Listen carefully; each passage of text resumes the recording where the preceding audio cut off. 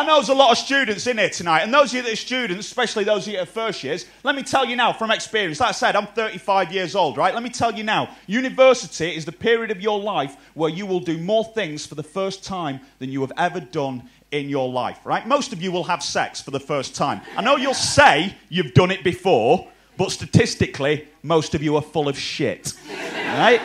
You're talking bollocks. Right? Most of you, a lot of you, many of you will do drugs for the first time, and that's, that, that's fine. Do you know I mean? And I was, I was, right, I was, I was almost going to say then uh, that I've, I've never done drugs. Now, that's not strictly true. I did cannabis once, right? Because everybody told me it was going to be amazing. It wasn't amazing. I threw up and I couldn't stop thinking for nine hours, right?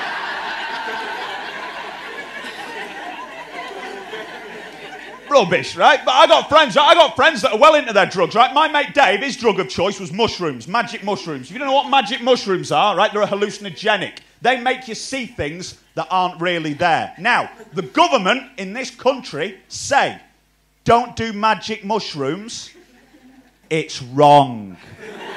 but the government are also realistic and they say, listen, if you are going to do magic mushrooms, make sure you get a friend to watch you who's not doing magic mushrooms, who can make sure you don't do anything stupid, like, for instance, try to rugby tackle a bus because you think it's one of the Teletubbies. Right? Now, my mate Dave, he rang me, right? He rang me one day. He said, Danny, you don't do drugs. Will you come and watch me take mushrooms? And I said, Dave, I got fuck all better to do with my life. So Dave, right, Dave gave me his drug dealer's address, which I didn't think the drug dealer would have been happy about, right? But I drove over, and it's about 10 years ago, right? I drove over to this drug dealer's house in Bolton, right? I drove over, me and Dave were walking back to the car. As we're walking back to the car, Dave did something that I considered ungentlemanly, right? As we're walking back to the car, my mate Dave opens his freshly purchased bag of mushrooms, takes out a handful, glugs them back, then just looks at me and goes, Danny, you got 15 minutes to get me home, or this drive is going to get fucking tasty.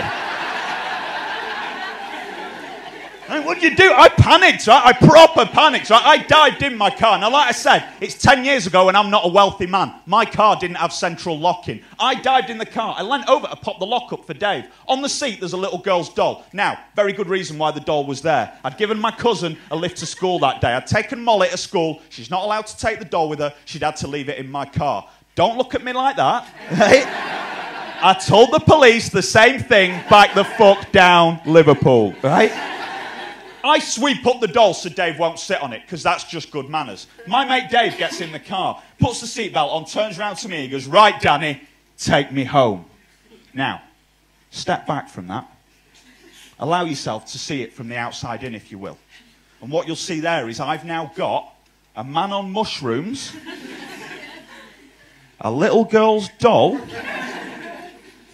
and a confined space. Right? My mate Dave turned around and said that to me. He didn't see his friend Danny, right? All he could see was a doll. Right? And the first question he asked was quite a normal question for someone that had just taken mushrooms and was now staring at a doll. He went, Danny, can you see that doll? And I said, no. There's no doll there, Dave, right? My mate Dave got a little bit panicky. Went, seriously, mate, don't fuck about. Right? Don't be a dick, right? Is there a doll there or not? Right? And I was really proud of this because I got the doll and went, no, Dave.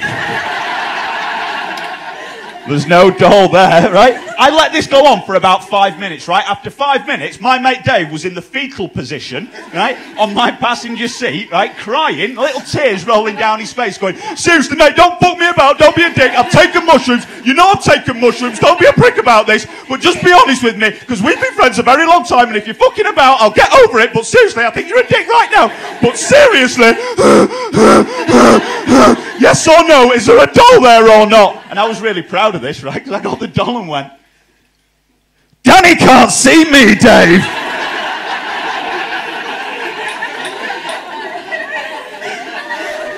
I'm going to take you to a field and fuck you up.